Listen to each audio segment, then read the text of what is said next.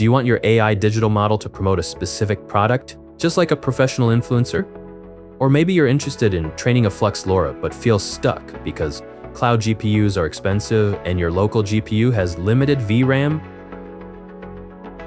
Imagine if you could achieve top-notch results without relying on expensive setups. Hi and welcome back to Aiconomist. Today we are going to locally train a Flux Dev LoRa, all inside Comfy UI.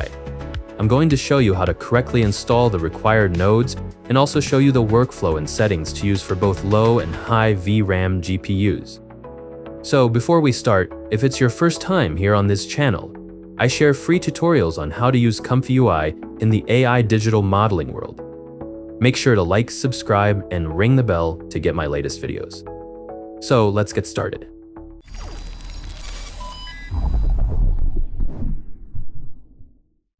Alright, let's begin with the installation process.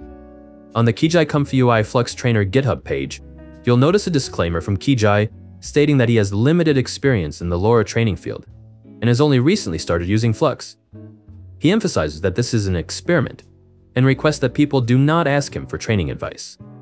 This workflow is experimental and still has several issues, but I'll show you how to avoid these errors.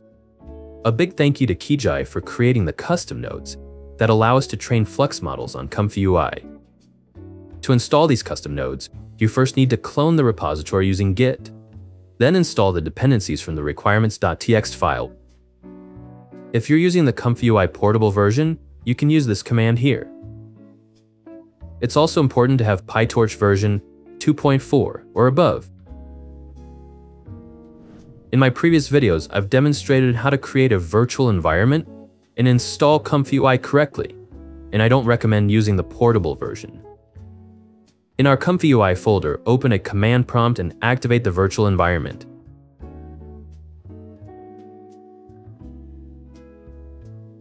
After that, type the command pip list to display all installed packages and their versions.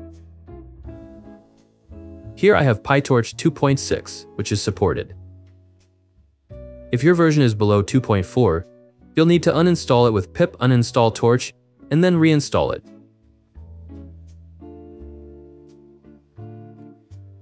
You can find the necessary command on the Comfy UI GitHub page. Just paste it, and the new version of PyTorch will be installed. Next, we'll clone the Flux Trainer repository. Make sure your virtual environment is activated, then navigate to the Custom Nodes folder by typing cd custom underscore nodes. Followed by git clone, and pasting the GitHub repository link.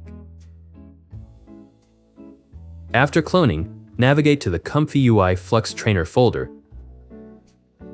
and type a pip install -r requirements.txt to install the required libraries.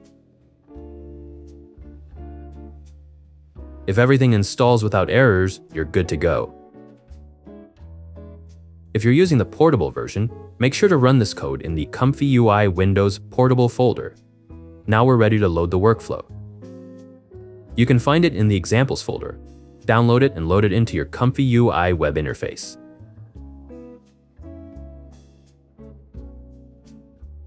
Here's the first look at the workflow. You might see a lot of new custom nodes that you're not familiar with, but we'll simplify things.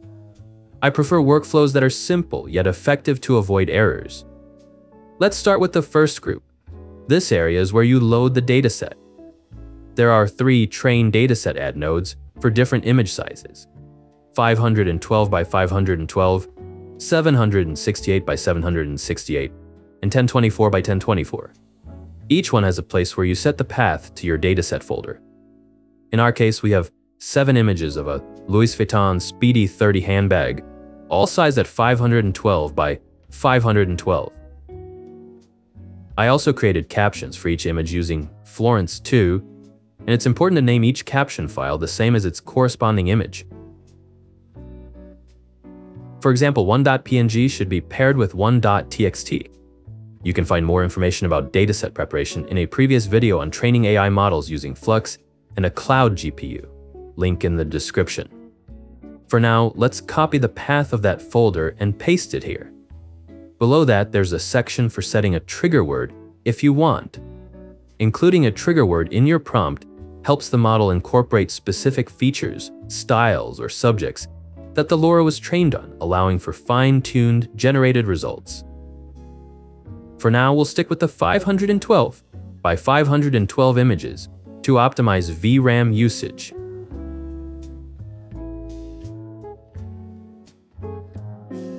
In the second group, we set the training parameters. In the Flux Train Model Select node, you need to pick a Flux model. Flux 1 Dev is the best, but there are also FP16 and FP8 versions. If you have 24 gigabytes of VRAM or less, FP8 is the best choice.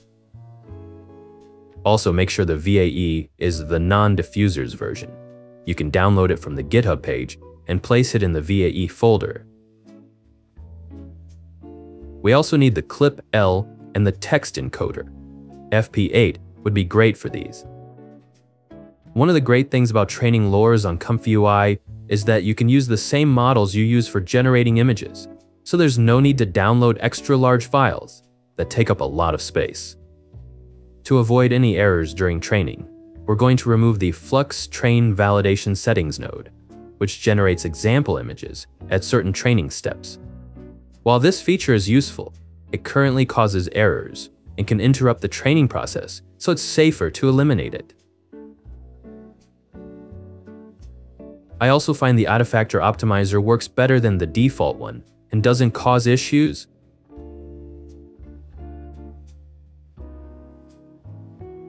Now, let's move to the init flux LoRa training node. This is where the LoRa configuration happens. Start by giving your LoRa a name, then set the path where you want your LoRa's to be saved. I'm using the same dataset path. For both network dimension and alpha, we're setting them to 64. To explain briefly, think of network dimension as the size of your drawing paper. Larger paper allows more details, while smaller paper keeps things simpler. In LoRa training, network dimension determines how much detail the model learns. Network alpha is like how bold your pencil strokes are. A higher alpha makes the learned features stand out more, while a lower alpha keeps them subtle. I'm experimenting with 64 for each, but you could lower the network alpha to 16 and still get good results. Training steps are like practice rounds for the model. During each step, the model adjusts and learns more about the features you want it to generate. For Flux models, 2000 to 3000 training steps usually produce high-quality results without overfitting. Since we're using 512 by 512 images, we can leave T5 attention mask enabled, which helps the model focus on the most meaningful parts of the text. Also in Flux, split mode allows the model to use both the CPU and GPU, which reduces the load on the GPU and saves VRAM. Next, you'll see four training groups. You need to set how often to save a LoRa in the train loop node. Since we have 2,000 steps in total, Setting it to save every 500 steps will produce four LoRa's that we can test. We're also removing the sampling nodes, as we won't be using them.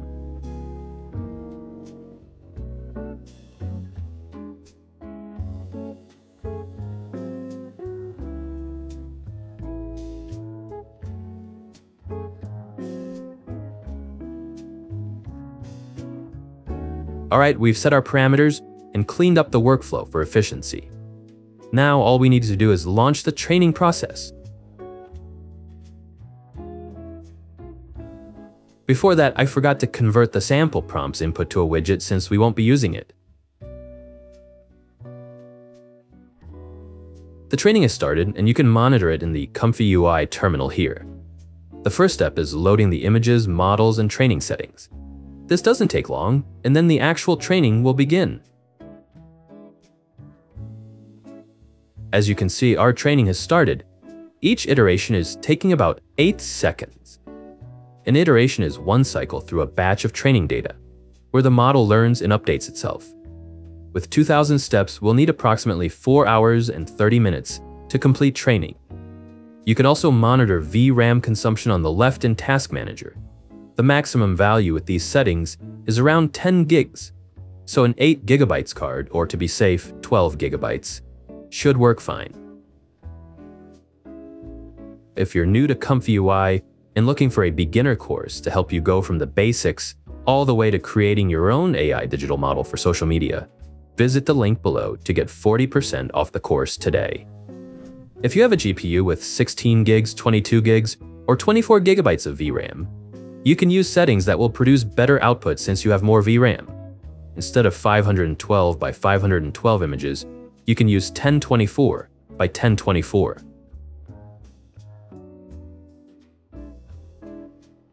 In the initFlux LoRa training node, change the output folder and disable both the T5 attention mask and split mode. When running this configuration, you'll notice higher VRAM usage, around 20 gigs, but also a lower time per iteration, down to about 2.7 seconds. The data loss is also reduced to 0.2, which is ideal for us. Training will be faster and produce better quality results. Once training is complete, you can find your LoRa files in your output folder, copy the last two saved files, and move them to the ComfyUI LoRa folder within the Models folder.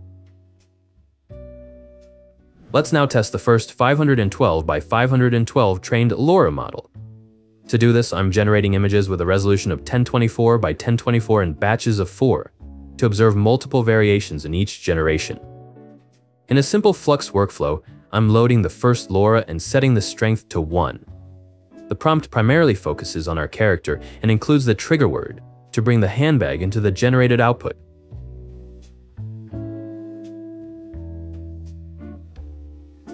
After generating the images with the LoRa strength set to 1, I immediately noticed that the overall image quality was lower and the handbag wasn't quite accurate compared to the target product.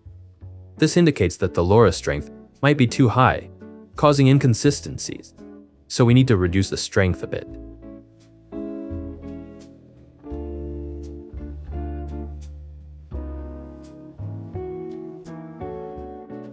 After adjusting the LoRa strength, I generated new images, and the results showed a noticeable improvement in quality. However, only the second image managed to capture some of the characteristics of the Louis Vuitton handbag, and even then it wasn't quite what we were aiming for. To further improve the results, I would recommend lowering the network alpha value to around 16, which would make the learned features more subtle. Additionally, enhancing the dataset by using higher quality images, adding more samples, and increasing the training steps to around 3000 would likely yield better results. Now, let's move on to testing the 1024 by 1024 dataset. Keep in mind that we only used around 5 images to train this LoRa, which limits its ability to generalize effectively.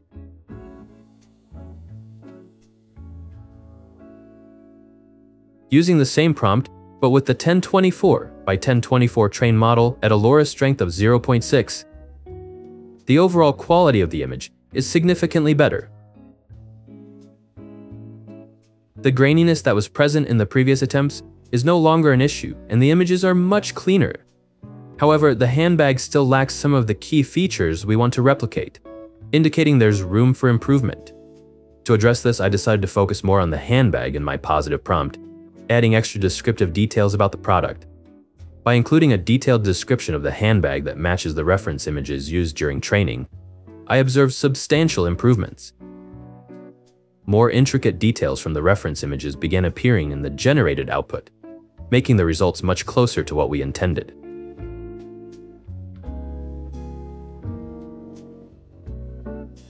Now I'll switch to a higher resolution of 1408 by 1408 to see if this can further enhance the image quality and improve the accuracy of the handbag's depiction.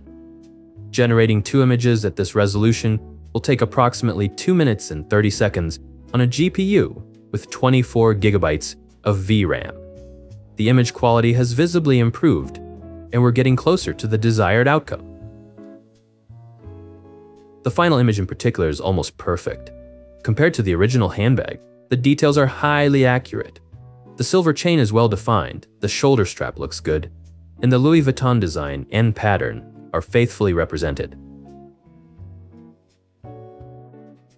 This is a significant step forward, and it shows that with the right combination of resolution, dataset quality, and prompt details, we can achieve a very high level of accuracy in our generated outputs. That's all for today. I hope this tutorial was helpful.